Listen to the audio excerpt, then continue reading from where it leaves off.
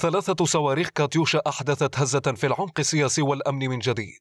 لم يكن هذا الأسبوع إلا مسلسلا لتكرار هجمات الصواريخ التي هدأت منذ شهرين. الحسابات والمواقف ذاتها لأوساط السياسة أحدثت ردود فعل داخلية ضد الهجمات توحدت في معظمها على دعوة الحكومة لعدم الوقوف مكتوفة الأيدي كما جاء في تغريدة زعيم التيار الصدري مقتدى الصدر. مصادر سياسية في بغداد قالت إن لقاءات عقدت بين عدد من مسؤولين وقادة فصائل مسلحة. تنصلت من مسؤوليتها عن الهجوم. زعيم تحالف الفتح هادي العامري وصف الهجوم بغير المبرر تحت أي ذريعة بإدانة واضحة لقصف البعثات الدبلوماسية.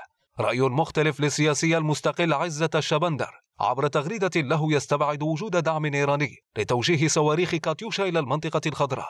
لكنه تعزيز للسان الحكومة بموقف رئيس تحالف عراقيون عمار الحكيم الذي استنكر الاستهداف الصاروخي بينما حذر من العواقب الوخيمة لاستهداف البعثة الدبلوماسية.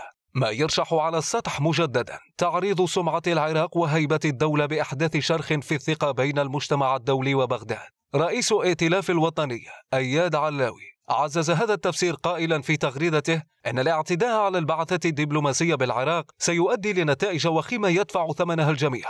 إجماع رسمي على خطر المشهد الأمني يدين رئيس حكومة إقليم كردستان مسرور البارزاني من ضمنه الهجوم على السفارة الأمريكية. ردود فعل داخلية تصل إلى خلاصة واحدة تكشف خطر التوقيت الذي تعود فيه هجمات صواريخ والضرب بخاصرة الدولة التي ترسم طريقها إلى السيادة وبناء سياسي يقطع رؤوس العبث والتأزيم.